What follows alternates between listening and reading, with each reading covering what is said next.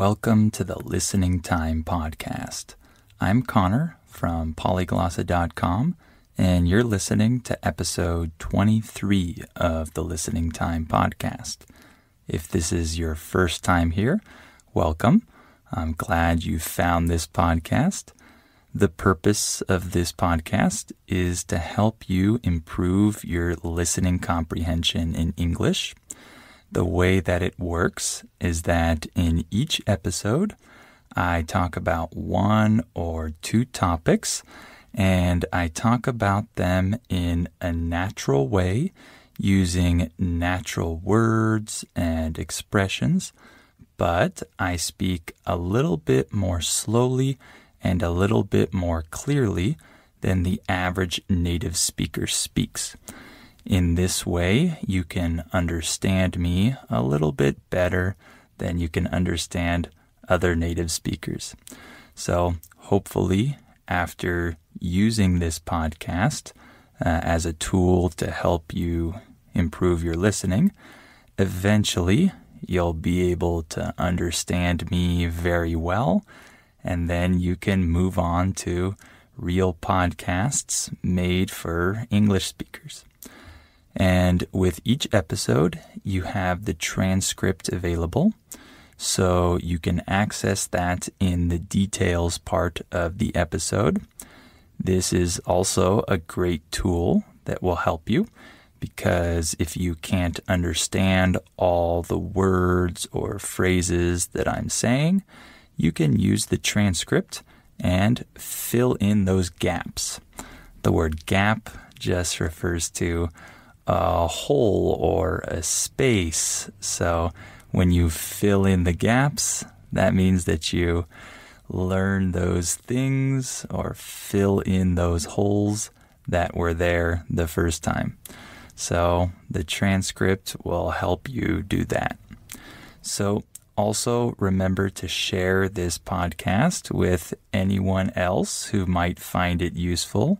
And please give it a like, a rating, a review if you're listening on Apple Podcasts. So today I'm going to talk about creativity and innovation.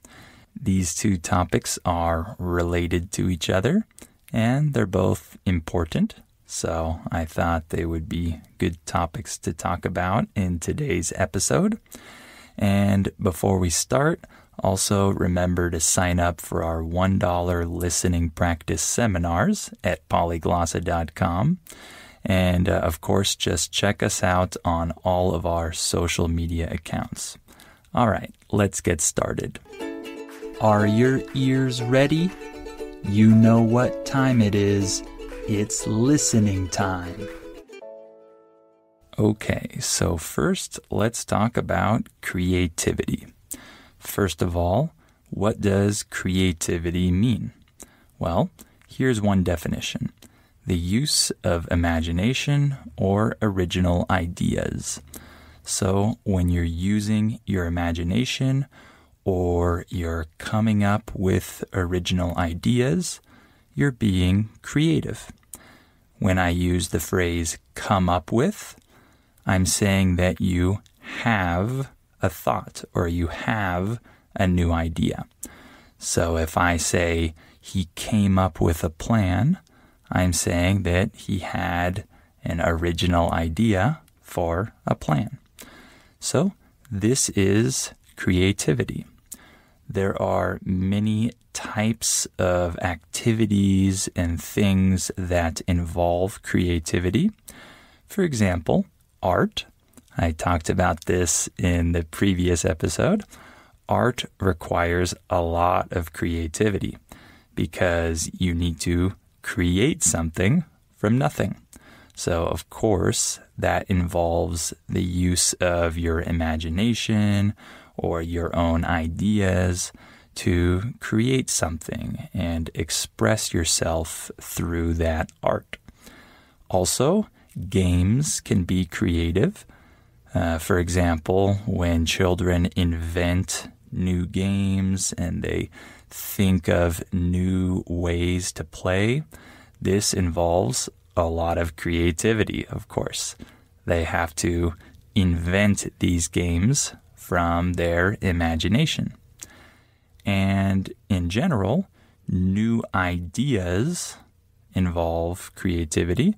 So if I think of an original idea, I'm being creative with my mind. So just thinking can be creative. Thinking can involve creativity. And then also, inventions and innovation involve creativity. Of course, we're going to talk about innovation in just a little bit. So, let's talk about some of the benefits of being creative. So, first of all, creativity allows you to be a critical thinker. When we say critical thinker or critical thinking in English, we're talking about being able to think deeply about concepts and problems and be able to process these ideas in our mind. This is critical thinking.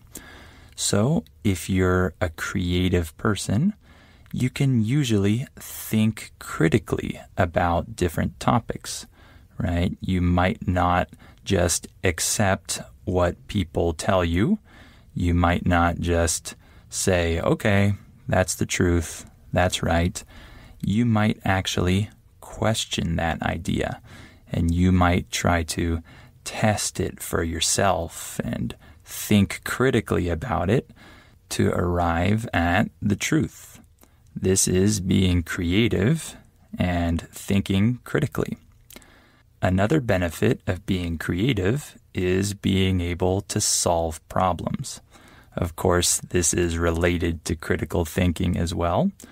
So, more specifically, if you're presented with a problem, you'll be able to think of ways to solve it.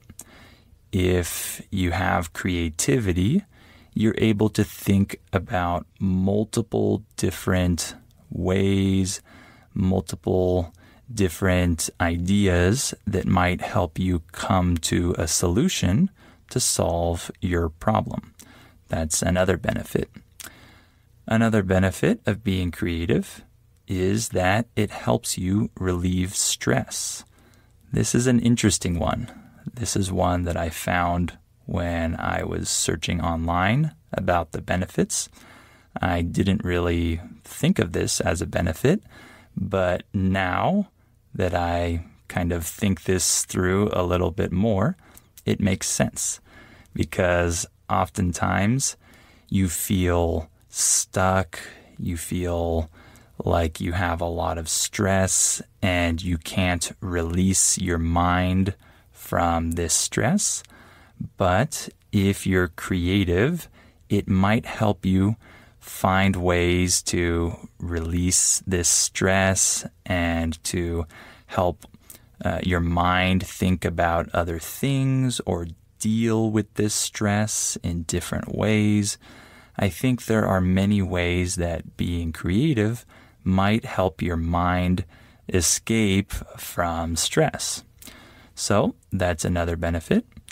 And another one is that it helps your confidence level.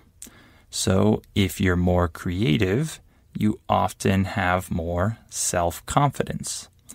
This is probably because if you're creative, you're more uh, independent, you can think for yourself, you can analyze concepts in different ways, and you feel more confident about your own ideas, about your own your own self. So that's another advantage. And then lastly, it also gives you a sense of freedom.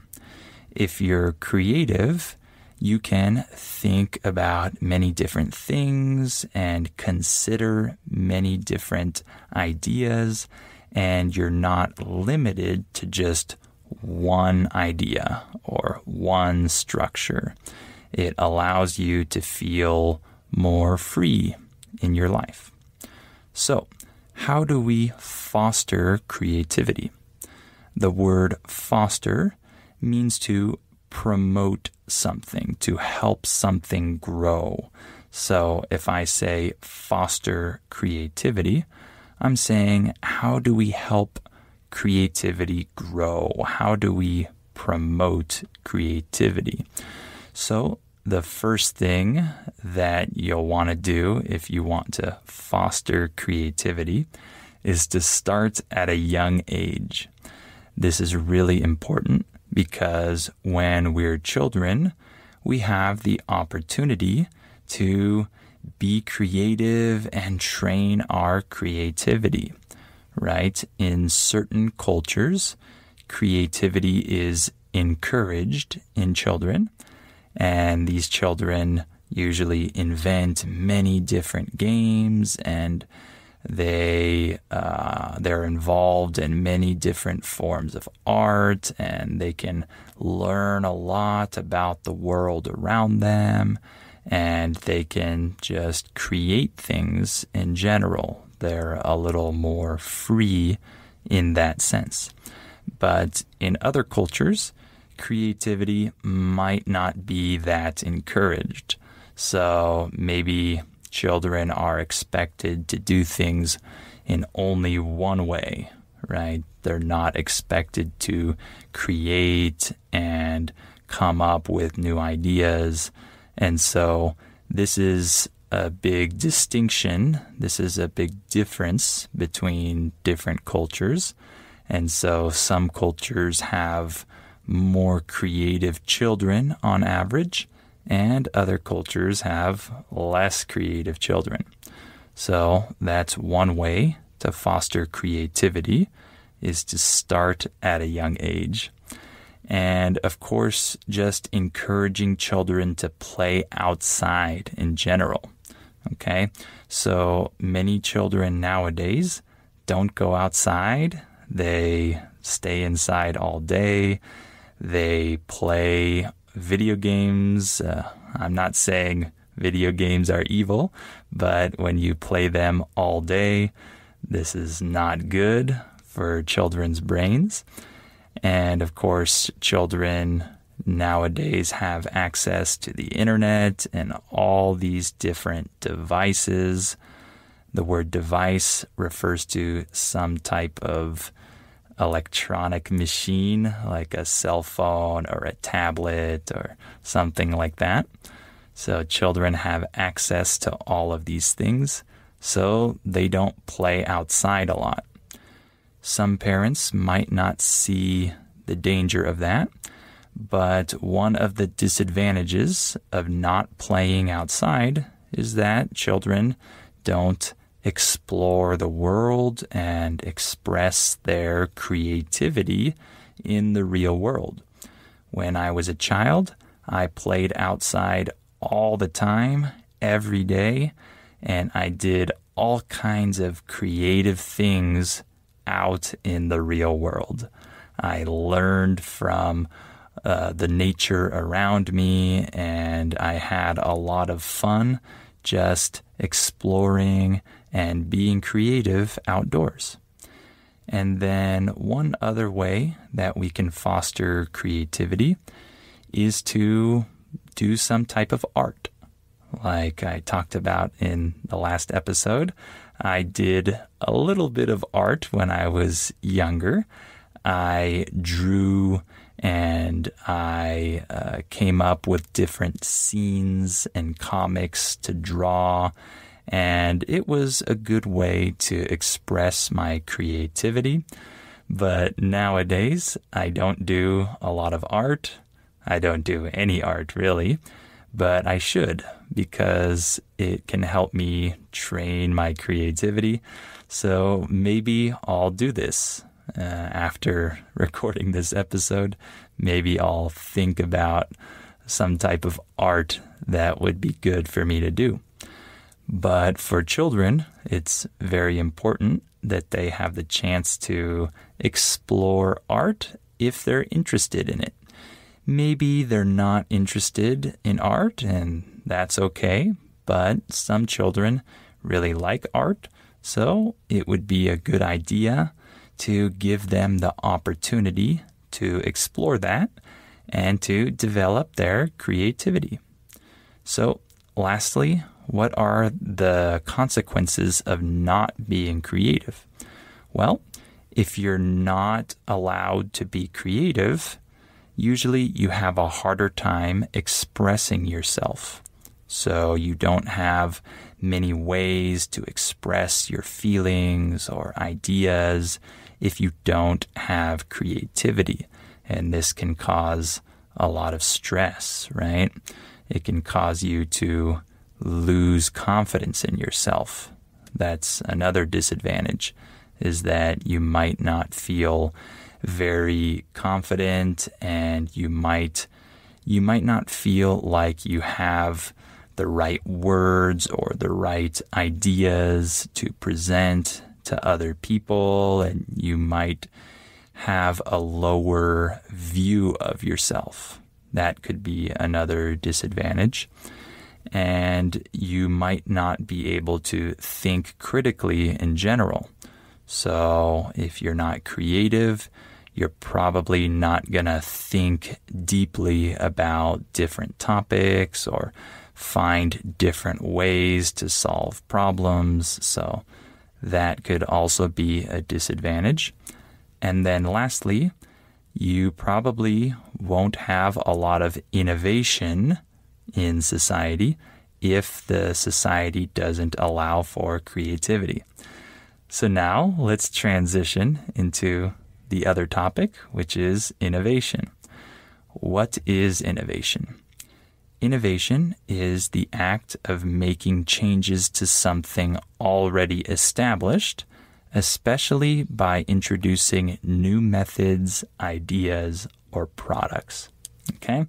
So when we take something that already exists and we make changes to it or improve it by adding something new or making a new change, this is innovation. So, normally, when we think of innovation, we think of technology, right? That's probably the most obvious form of innovation that we see today. But innovation can also take on other forms.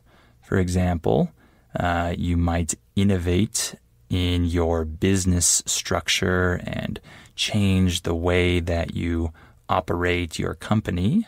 That could be a form of innovation. And for example, you can be innovative on the job in your own career, in your job. You can uh, deal with challenges or problems in an innovative way, in a way that other people haven't dealt with these challenges in the past. So there are many ways to be innovative in your life. So let's just talk about a few examples of technological innovation. So, uh, one of the greatest innovations of all time was Johannes Gutenberg's printing press. The printing press is the machine that prints uh, text on paper, right? So in the past, we didn't have very efficient printing presses. And so it took a long time to make copies of texts and books and things like that. But Gutenberg's printing press was completely revolutionary. All right. When we say that something is revolutionary, this means that it completely changed everything, right? So it was revolutionary because uh, with each press, we could print 3,600 pages per day. So that was a huge improvement over the printing presses before Gutenberg's printing press. So that innovation was extremely important, and we consider it one of the most important innovations of all time because it allowed very important texts to be copied and printed and distributed all around the world. Right? For example, the Bible. Before this printing press, the Bible was usually hand copied, right? It was done by manuscript, which means that the people wrote it by hand. And it took a long time to copy the whole Bible and distribute it. But with this printing press, we were able to make many, many copies of the Bible and other texts very easily and very fast. So you can imagine the difference that that, uh, that innovation made. So another form of innovation was paper currency. The word currency refers to the money that you carry in your wallet. So the currency in the US is the dollar, right? So paper currency was used, I think, only in China a long time ago, since the 9th century, but it wasn't used in Europe until the late 17th century. So before paper currency, people had to exchange goods. We use the word goods to talk about things like gold, silver, animals, vegetables, jewels, things like that. So people had to exchange these goods, and it was harder to buy things and sell things in an efficient way. But with paper currency, uh, this was revolutionized, and after that, people were able to uh, buy and sell and trade much more easily. Of course, today we have many problems with paper currency. We have something called inflation, right? This is a big problem nowadays. So we're facing new challenges with this uh, this invention of paper currency. But at the time, it was a big step up from just trading physical goods, right? And then lastly, let's just talk about the cell phone. This is also one of the biggest innovations of all time. Uh, the first cell phone was invented in 1973. Before that, we had home phones right? Today we sometimes call those landlines. A landline is a phone that you have at home. So when the innovation of the cell phone took place, uh, this started a lot of new ideas. And of course, throughout the next decades, different companies started producing different cell phones, and each one was better than the last one.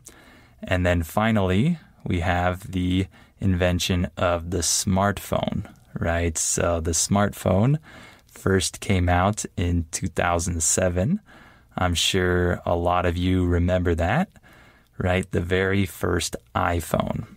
And so uh, this was a huge innovation because starting from that time, people could access the internet from their pocket. They could carry the internet around with them, so to say. Of course, this was completely revolutionary, and nowadays, almost everyone who has a cell phone has a smartphone. And most people can't imagine their lives without this device, without this smartphone. So this really changed our daily lives. Okay, we'll stop there for today.